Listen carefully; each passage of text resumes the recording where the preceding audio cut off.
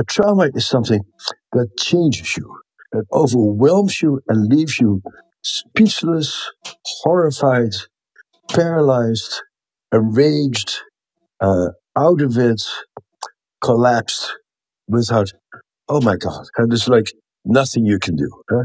And that is really what we're studying here is, uh, is that an experience like that doesn't get digested, doesn't get metabolized, doesn't get taken care of.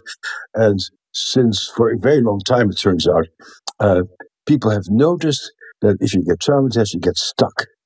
And you keep going, you keep behaving as if it's still happening, you keep acting, you keep feeling like it, your hormones keep going the same way, and head is getting stuck. And then no matter how how welcoming the world may be after that, that you keep sort of going back there. That is trauma.